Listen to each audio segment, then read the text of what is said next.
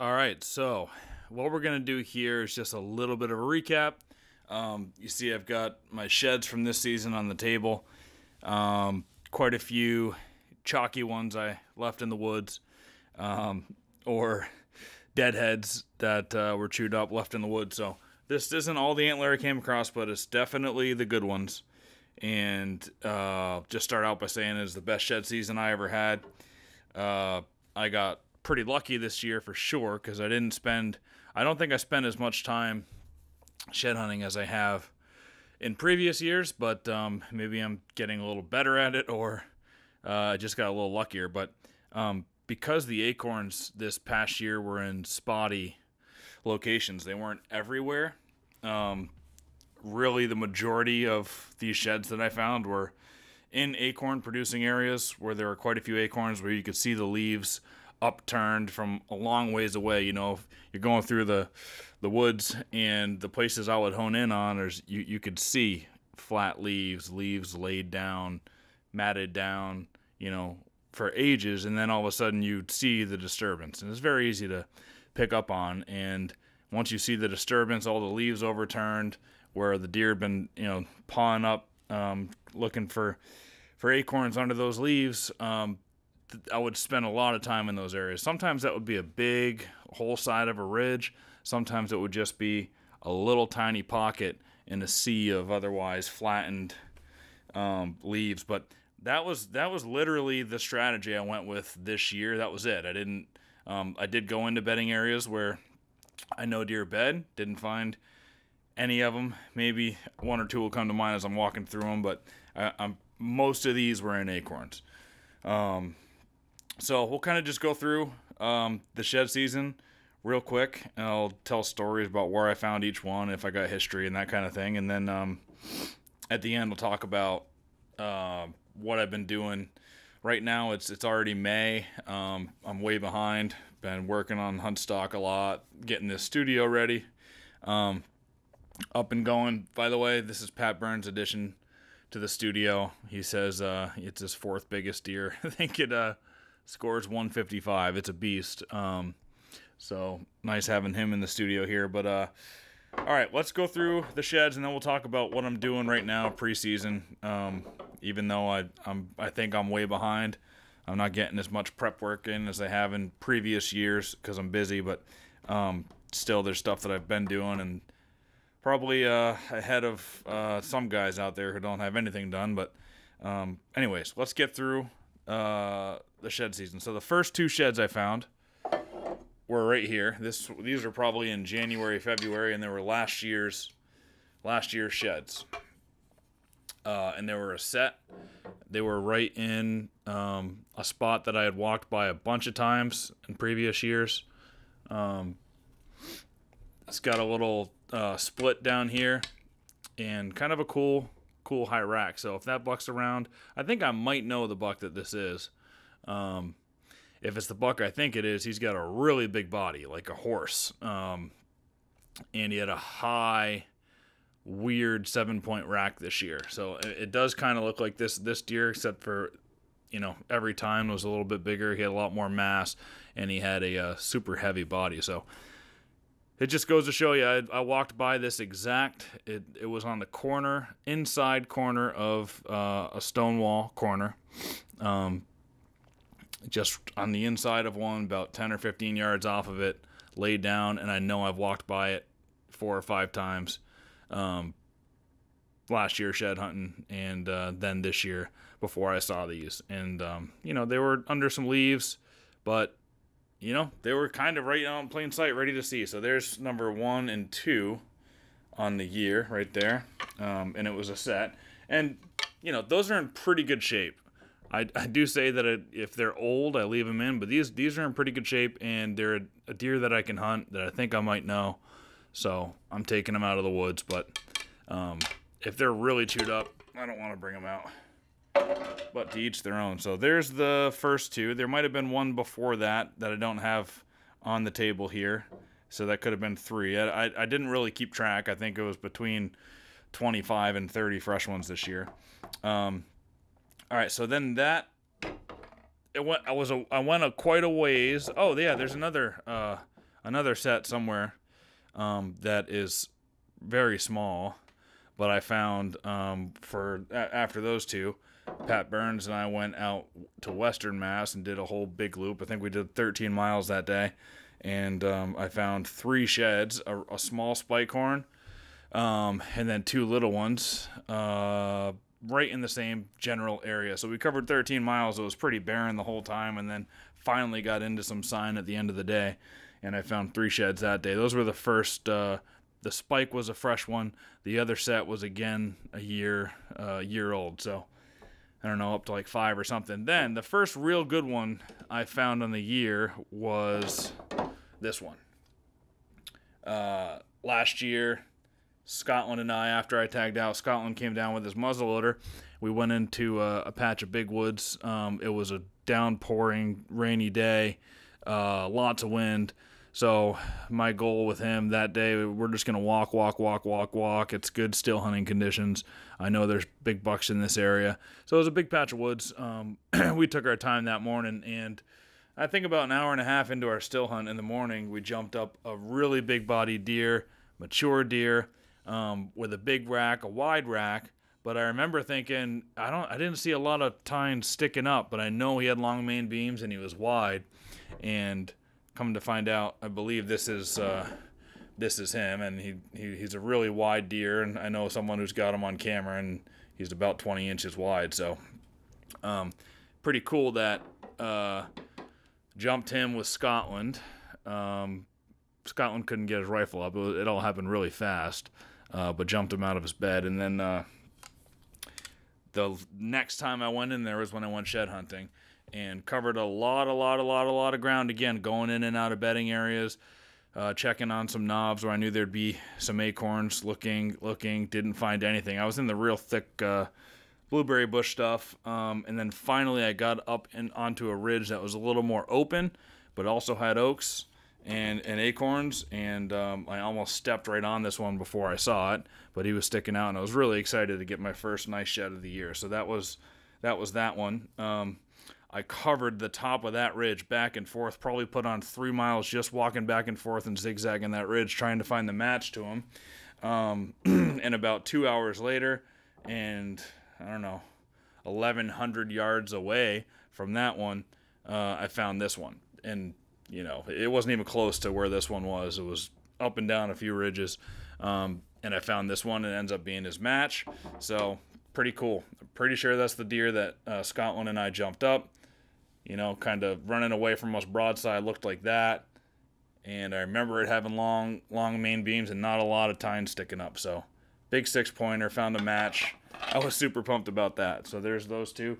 And then this one that same day. So this was a three shed day um, I met up with my buddy uh, after I found those two, the one who has that on camera, and um, so I met up with him. We took our e-bikes into another piece of the that big forest um, that ne- neither of us really had been in in a while. We both wanted to go scout it, uh, so we went in there and did a whole big loop in there. I ended up jumping two mature bucks that had both shed. Um, once we got into the kind of the spot we were, we looked at on onX, it looked like it'd be super thick, pretty isolated, and uh, had some acorns, uh, acorn producing trees um, in that onX overlay. So we we dove down into that spot, split up, covered covered a lot of ground. Once I got right in between two, there were two knobs, two high points, in a really low, swampy, very brushy, very thick area. Um, I was walking right on a deer trail that was going through it, which made it a little easier to walk. the only place you really could walk in there, and uh, I was walking along on a deer trail. Just got over that that first knob and was starting to go down the backside of it to the low spot, and the the other the other knobs right on the other side, and that's when big deer jumped up. I could tell it was a really big body right away. Always carrying my binoculars with me so I can scope stuff out he he bounded a couple times, stopped, looked back at me, brought the binoculars up, and c- could see, you know, he was a buck, pedicles, big old bumpy forehead, white face, saggy belly. Um, I was he, I knew he was a mature buck. Um, he seemed pretty old. He seemed like a five and a half, six and a half year old. I don't think this buck. I ended up finding this one later. I'll get to it. It might be that deer, but I think uh, the deer. I don't know. For whatever reason, that one that I jumped up, I can just see having having bigger headgear, but it very well could be this one. Anyway, he that buck watched me for a little while, and then uh, took off up the ridge. I continued moving. He was with another buck. They were both bedded down in that in the same spot, and that other buck just didn't, you know, bound away when when this one did. Um, so I kept moving, and the other buck was still standing in the original spot, not too far from me. I just couldn't see him. I was all focused on the other one. And then he took off too. Um, he was a smaller bodied deer, a little bit younger, and but I could tell two bucks, and both were shed, so I knew there were some uh, some bones somewhere on the ground. Uh, I had to get out of there, uh, so I left. Um, followed up that ridge, checked that ridge on the way out that both those deer ran up. Um, and I got back to the main trail. There's a uh, someone's tree stand was not too far from the main trail, right on the other side of uh, uh, big rock wall, and right in a break in the in that rock wall, I, I came back up. I saw the tree stand. I circled around the back. There's a camera there facing the tree stand. I, you know, circled around the back side of that and was going through that opening in the rock wall when this one was just sticking up clean as day. People could have seen it on the uh, on the main trail if they just peeked peeked to the right as they're walking that main trail right in that opening. This thing was sitting right there. Beautiful, beautiful. Uh, he looked so much bigger. it is a nice one. I measured it. I think it's if, if there was another matching side, it would have been a 130 inch deer. Um, it looked so much bigger. Actually, it was like this. Um, it looked so much bigger going up to it, but really nice deer. Five points, got a little kicker down here. So that was the end of that day. That day was only I was only down there for uh, I think I ended at two, so it was like nine o'clock to two o'clock, five hour five hour shed hunt. Um, three really nice sheds uh, from mature buck, one match and one that uh, I still got to get back into that area and get cameras up now. It's one of the things that's just in the back of my head. Things, list of stuff I got to do. I got to get back in there, get some cameras up. Uh, I want to go down into that spot where I jumped those deer in that bedding area. Um, get a cell cam way down in there because I don't want to be going to check it. So that was a great. Uh, now the momentum started happening in the shed season. The next two sheds I found um, were these bad boys here. I only had an hour this day to go out. I think I left at uh, three o'clock. Um, you know, starts to get dark around five. I think I don't remember what time of time of year it was. Uh, had to go get Austin, but I only had an hour to go out. I poked in. These two were laying right next to each other, and I mean it's just a giant, giant six pointer.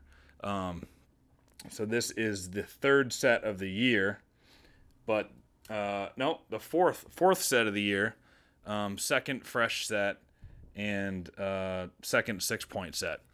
Uh, huge, huge, really mass. Uh, got a lot of mass on him. You can tell he's an older, older deer. Um, when when I got that one, I think I had had three cups of coffee that day. Um, I crushed a whole bunch of work in the morning. I was like, I got to go reward myself. Get out for an hour. I did reward myself, but I cheered. I mean, I I let out. Uh, you know celebration like um, like I had shot the deer and I got really lightheaded, like actually scarily lightheaded when I found him, and um, so I, I, mean I almost passed out in the woods. The woods started blending together, you know everything got kind of bright for a second. So uh, I tried not to celebrate like that um, the rest of the year, but this was a really awesome um, uh, match and set. Uh, buck that actually this is a buck that Isaac Young picked up the matching set the year before when I brought him into this piece. He's got the year before version of this, um, and so we'll have to measure that one, measure this one, see how how big he grew. But he was a six the year before. He's a six here. He'll probably always be a six. We'll see what happens this next year, but really nice big buck. So after that, um, after that, okay, yeah, here we go. After that, I went. Uh, there we go.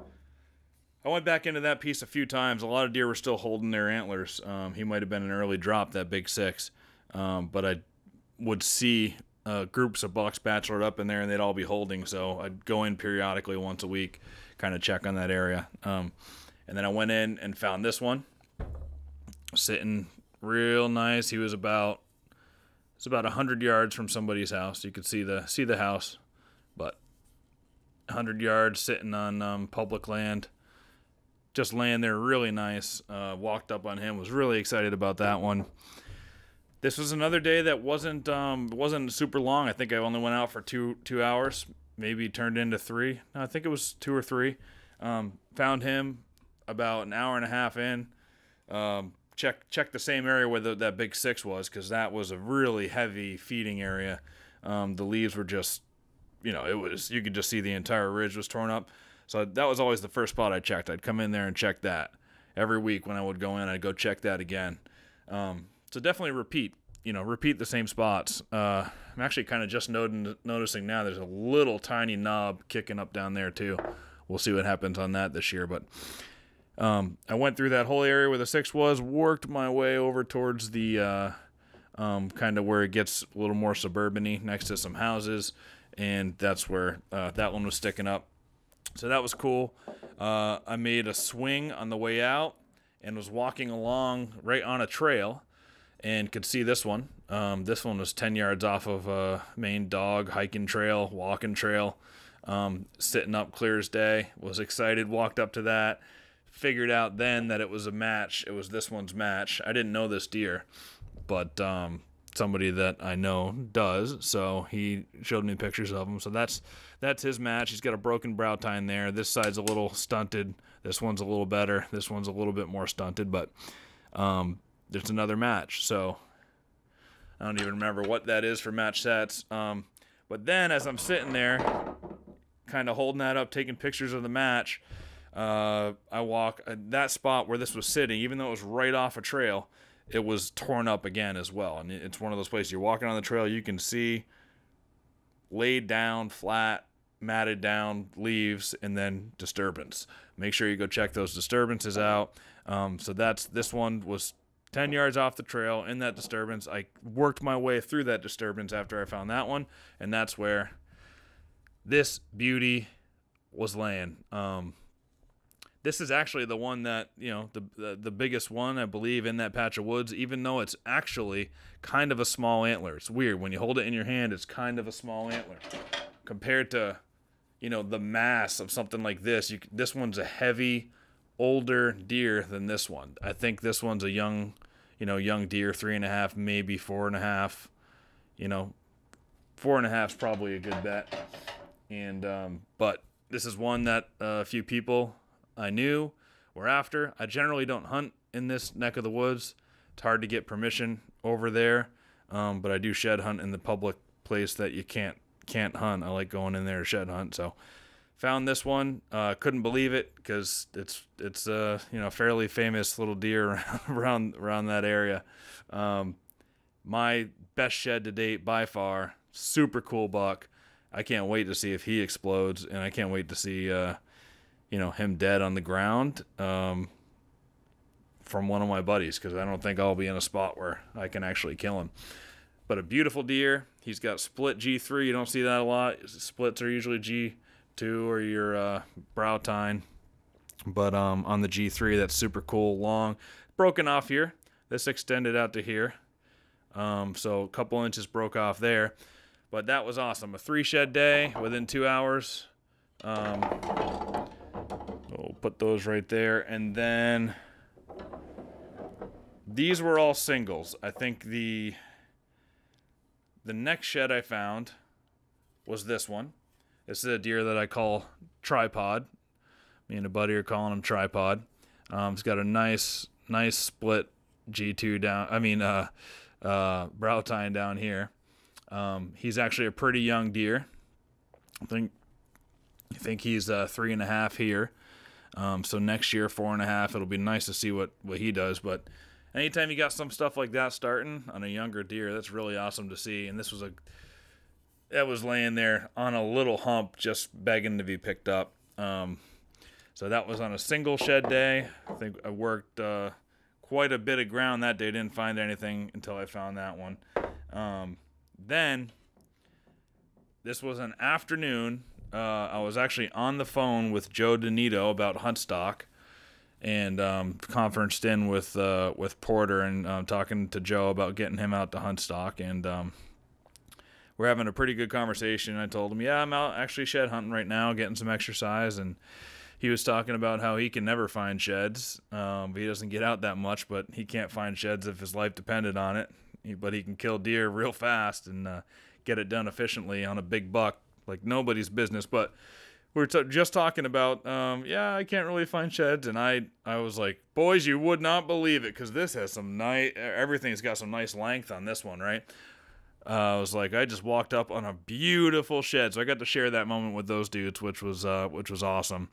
And uh, Joe claimed that uh, you know he he's got claim to half of this shed now. He's a fifty percent because he brought he brought me luck, fifty percent owner. So um, he'll probably hold on to this one at hunt stock this year. But uh, because I didn't know the deer as well as the guys who were hunting him, I didn't really realize that it was this one's match until um, I sent it to them and they sent pictures back and it 100% is the match. So that that is exactly what I was looking for in that big big patch of woods. Um, you know, it's not a tiny little suburban patch. This is a thousand, twelve hundred acre piece where this guy uh, roams around and found it. I think it was a mile and a half away from this one. So this one, as you remember, was down right next to a trail. This one was not near any trails, but it was uh, probably 150, 200 yards from uh, a house. So out in the public land again, but just sitting there in that buffer zone. They like to stay near the houses. Um, I guess feed. There was there wasn't a lot of acorns where this one was. I was just working the edge of that public land back near the houses, um, but I didn't find a whole bunch of feed in that area. He just happened to. He was probably feeding in um, in their yards and bedding there, and in between the bed and feeding, dropped it right there. So there's my best match ever. Super stoked to get that one. Uh, again, I think he's four and a half years old, maybe three. Uh, but best guess probably four and a half if I had to say. And he scored about 144 inches with broken stuff. Like this one's broken, broke a few inches off here, so broke and broke on the main beam here. Um, he could be something really special. So that was cool. Match that one up. A lot of match sets this year. Um, again, I got a little bit lucky with that. Um, all right, so then this was my best shed day. All of these, there's seven sheds here. I found all seven sheds in one day before one o'clock. Um, and I believe the best one of the day was the first one. Yep. And this is the one I wanted to go back in. It's in the same, you know, same area that some of these others were found. Um, but because I had kept an eye and uh, I'd seen I'd seen this buck a few times in there, with some other bucks, but he's a nice eight pointer, nice chocolate bases, you know, good mass on the bases. Um, and it was just a really handsome buck, and I really wanted to get uh, get his antlers. So this one was laying uh, right next to a stump, um, and again in a heavy feeding area, acorns, but middle middle of the forest this time. It wasn't uh, you know on the edge near houses or wasn't near any trails. This was in you know, kind of a secluded part of of those woods. Uh, I know the guy who found the other side of this, and he had found the other side super early, I think in January, sticking up through the snow. So I did cover a lot of ground looking for the other side, um, which was futile because uh, it had been picked up a few months before I found this one. A um, little bit of chew marks here, just a, just a little bit, but an overall really nice shed. So that was the first one on that day. Then then it was this one, number 2, funky. Real funky, but it wasn't too far from that one. I found that one. I went on a little streak. I think I found this one 3 minutes after the big 4-point side.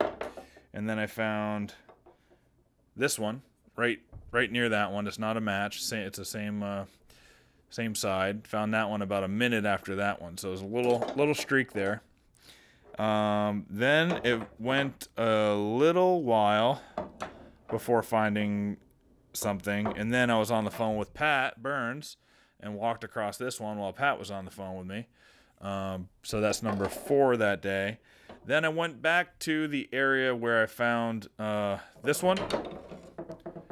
Remember that split G G2 and and the match, this one that was right off the, the trail. I went back into that area because it had been, I don't know, two weeks since I'd been over there. And uh, I started scanning, going over that again. And uh, using onX, using the tracking feature so you can see where you've walked and all that. Because um, that'll come in handy if you you got that on the whole shed season. You can see a spot you overlooked a little bit. So even though I'd been in that area a few times and combed it, there was a little spot I overlooked. I walked along that. Um, it was really hard to see the way I walked, and I didn't see it that way. And then I walked past it and I stopped. And periodically, you want to stop, take your time, especially in those areas where there's a lot of, you know, chaos and the leaves happening. Take your time in there.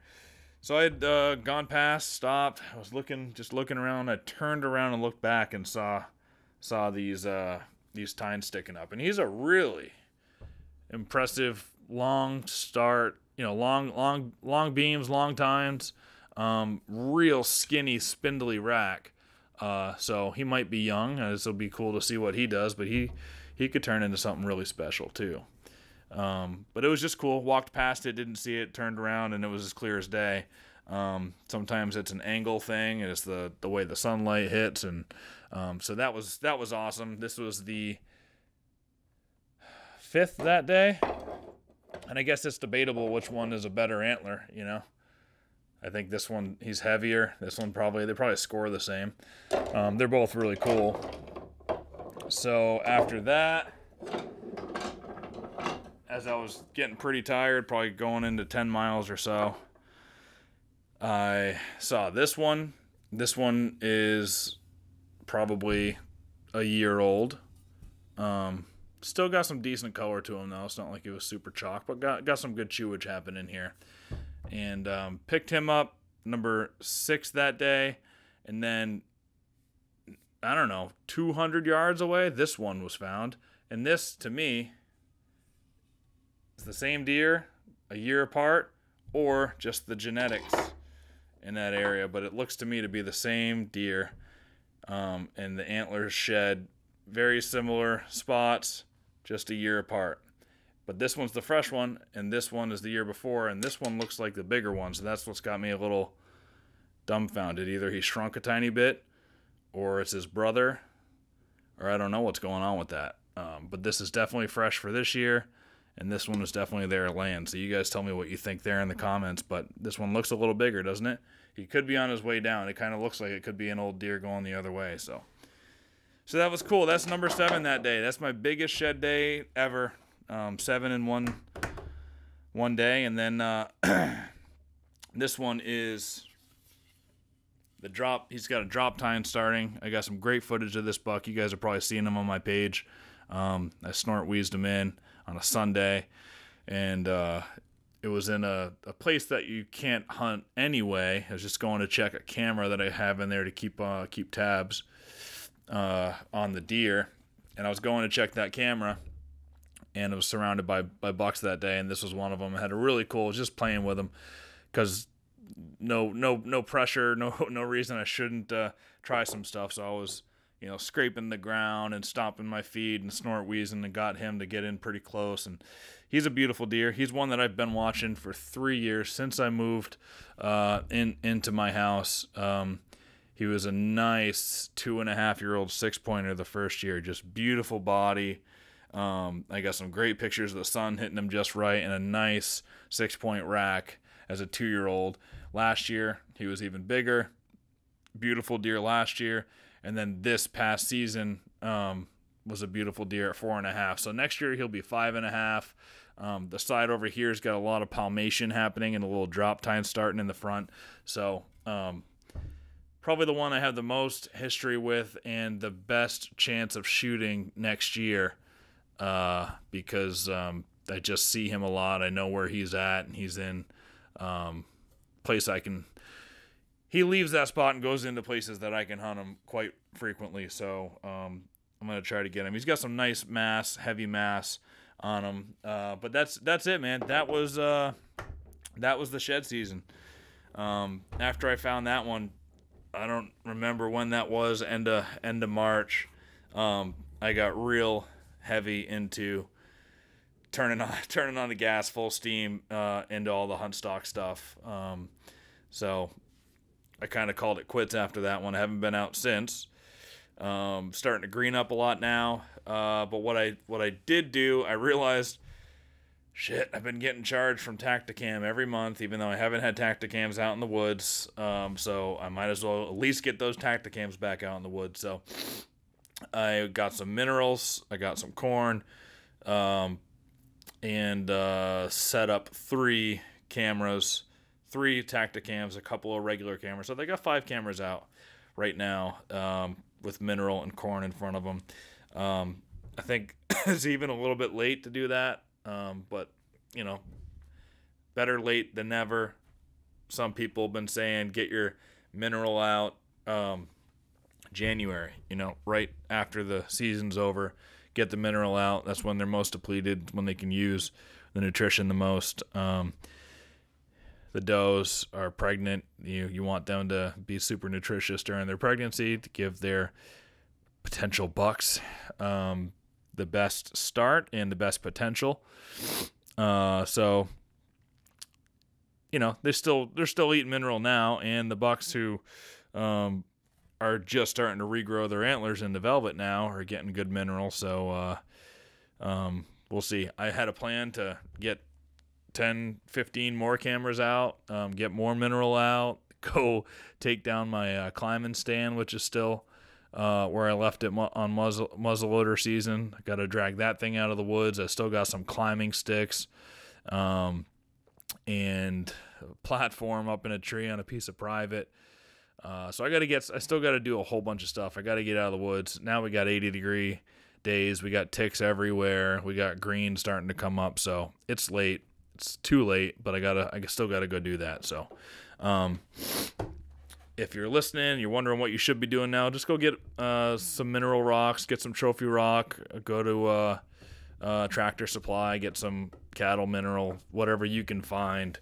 Um, get a little pile going somewhere, uh, and um, get them coming to that and getting their racks starting. Um, I still don't know. I mean, people I talk to swear by it, say that you know you can get them an extra 10 inches of antler um, if they're on mineral all summer. So we'll see what happens. Uh, last year I didn't do it.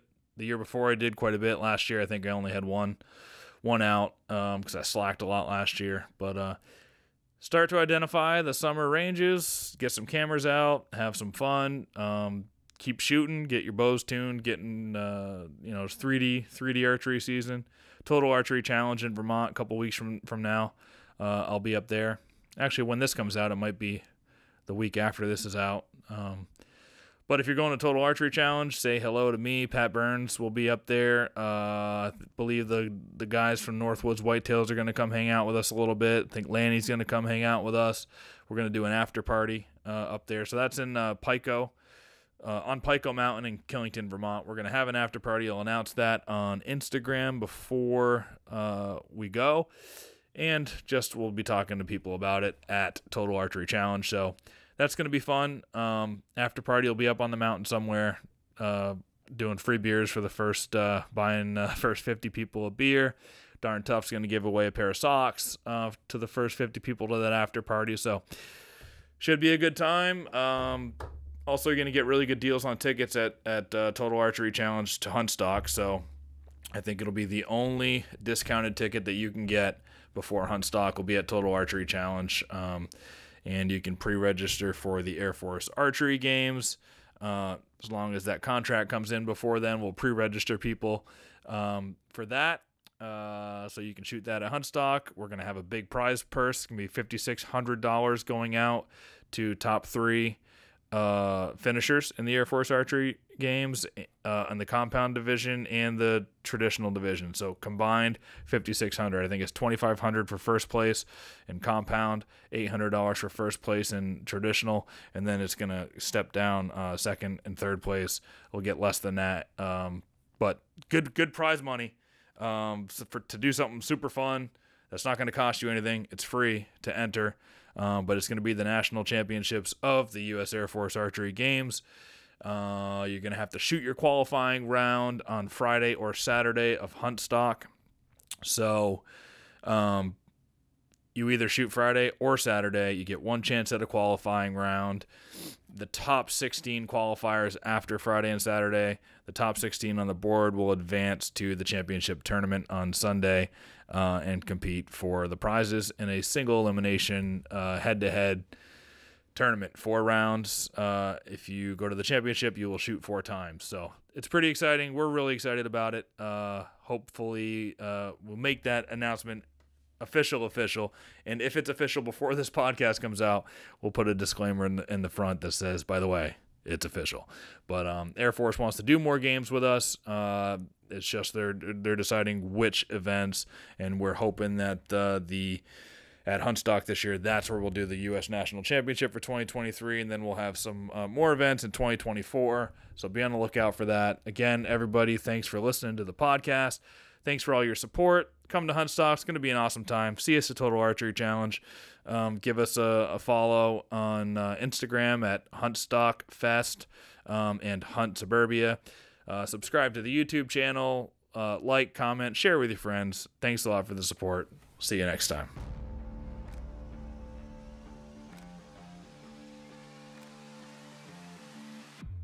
Come meet and learn from the best hunters in the Northeast this summer at Huntstock, America's reinvented hunting show.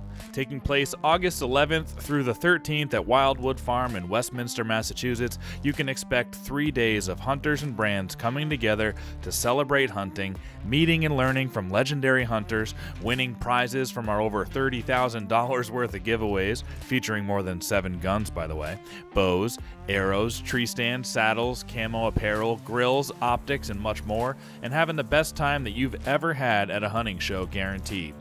All ticket purchases to Huntstock come with a door prize entry uh, to win some of those awesome door prize giveaways, which we'll draw at the end of each day. Kids under 12 are free. It's a family event, so bring your kids. Uh, for adults, it's $40 per day, or you can get a three day pass for $80, or you can get a three day super pass for $150, which will get you entry all three days, unlimited 3D archery, and double the door prize entries. For trackers and fans of the Benoit family, we're happy to announce that Woodman Arms has partnered with the Benoits to reproduce their legendary DVD series, which will be available for the first time at Huntstock this summer. They are likely to sell out, so make sure you get your tickets to Huntstock so you can get your hands on those DVDs before they're gone. If they don't sell out, they'll be available online at woodmanarms.com. With hunters from all generations at Huntstock, like Lanny Benoit, Hal Blood, Jim Massett, Joe Danito, Rodney Elmer, and John Altman, all the way down to younger killers like John Lewis, Brett Joy, Neil Pendleton, Jake Bennett, Joey Davis, Isaac Young, Pat Burns, and hunting groups like Big Woods Bucks, Just Hunt Club, Mountain Deer, 80K Trackers, Northwoods Whitetails, Hunting Me, Hunt Suburbia, Stagger, and more. There's not a better show in the world to meet and learn from hunters of all age groups. And with a 3D archery course designed to give you real life hunting scenarios, 50 plus hours of simultaneous seminars and live podcast programming on multiple stages, an outdoor classroom where you can learn from legends in an intimate setting, immersive experiences like following a blood tracking dog as he tracks down a deer, or learning how to butcher a deer, or getting up into a tree saddle for the first time and trying out different types of stands over 80 plus sponsors from the hunting world displaying and selling their new gear, and top brands that the Northeast has not seen around in a long time, like Vortex, Kuiu, Mossberg, Sig Sauer, Ruger, Darn Tough Vermont, Delta McKenzie, Hoyt, Easton, and more. You do not want to miss this show. You can get your tickets at www.huntstockevents.com today, or you can get them at the door if we don't sell out. So this summer, we'll see you at Huntstock.